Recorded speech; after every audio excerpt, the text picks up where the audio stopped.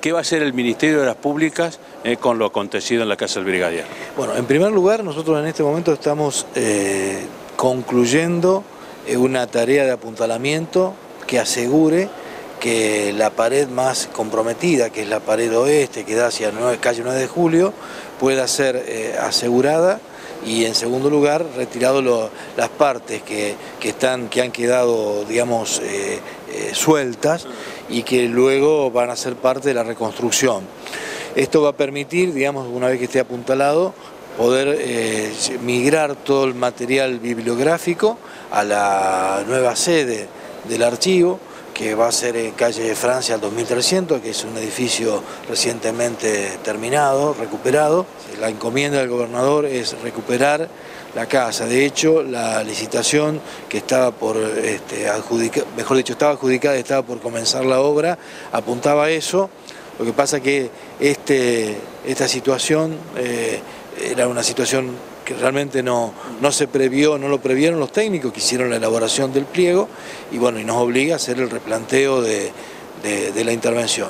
Esta intervención va a ser una intervención donde estamos convocando a la Facultad Regional Santa Fe de la Tecnológica, al SECOBI, estamos convocando a expertos en recuperación de, inmuebles de características patrimoniales, como es el caso de Luciano Hernández, digamos, y el proceso queremos que, que sea seguido digamos, por, por aquellas organizaciones este, de, personas profesionales que, bueno, que, tienen esta preocupación y que nos parece absolutamente legítima y enriquecedora su, participación y soporte. ¿Se han puesto un plazo? ¿Ustedes le han fijado tiempo para que esto se trabaje? Bueno, como yo decía la semana pasada, eh, primero fue asegurar de que lo que se produjo no genere inconvenientes a los ciudadanos, por eso se acercó la obra, se trabajó junto con la municipalidad a los efectos de asegurar esto. La segunda etapa es eh, el apuntalamiento, porque de esta manera nosotros garantizamos que, bueno, que, se limite el deterioro y nos permita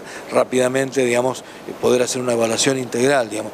Bueno, eh, administrativamente, el Ministerio, ¿está preparado como para ir a actuar así en una emergencia de esta naturaleza? Sí, de hecho lo hemos hecho, eh, tuvimos, rápidamente hemos actuado frente a una situación inesperada y obviamente no querida, pudimos actuar, tuvimos rápidamente la concurrencia de dos empresas que nos ayudaron a, enfrentar la, emergencia y también tenemos eh, no solo la posibilidad administrativa, sino también el respaldo del gobernador, de poder este, intervenir rápidamente en esto.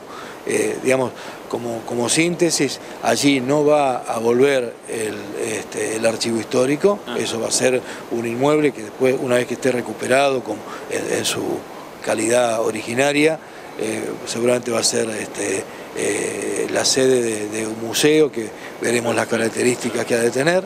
Este, y la segunda la segunda cuestión, eh, pensar, digamos, que este, este, edificio, que es tan caro a la, historia de los santafesinos, este, esté en un plazo que no supere el año y medio, esté nuevamente abierto.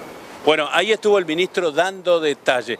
Pero no lo quisimos dejar escapar al ministro y aprovechamos para hacerle otra consulta. ¿Qué está pasando con la Plaza 25 de Mayo que se había anunciado una transformación para todo ese sector, una transformación que luego como mancha se va a ir expandiendo para tener en cuenta el valor que tiene todo este casco histórico? Al respecto dialogaron con Jorge. Sí, y esto nos decía, ¿eh? presta atención, ¿eh? porque en 30 días ya tenemos la presentación del proyecto. Bueno, esto viene a ocurrir justo, a ver si estoy bien, bien asesorado o no, en un momento en el que ustedes están terminando el proyecto de, remodelación de la Plaza 25 de Mayo, ¿o me equivoco? Sí, nosotros en menos de 30 días vamos a estar llamando una licitación para hacer una recuperación integral de la, de la Plaza 25 de Mayo. Este es un, es un proyecto que que lo aporta la Municipalidad de Santa Fe, pero es voluntad del gobernador Lichi llevarlo adelante para darle al área fundacional este, una nueva impronta, una modernización, una jerarquización de las áreas peatonales, fundamentalmente pensando en un área que es muy visitada, donde eh, las áreas eh, donde transitan, quienes nos visitan, tienen que tener una jerarquía muy por encima del uso vehicular donde va a haber este, eh, iluminación ornamental. Eh, es una intervención integral que, bueno, seguramente en un par de semanas más vamos a estar anunciando con mucha alegría. sacan el vehículo totalmente? No, no, eso, o sea, lo que sí va a haber una, una jerarquización de las áreas peatonales y bueno, obviamente eh, como es eh, toda plaza cívica en, el, mundo, en, el mundo, hay, hay fundamentalmente una restricción vehicular, digamos, lo cual no quiere decir que no haya circulación. Bueno, volvemos para ver la continuidad del tema de la Casa del Brigadier y en la presentación de la plaza. Sí, con mucho gusto y muchas gracias.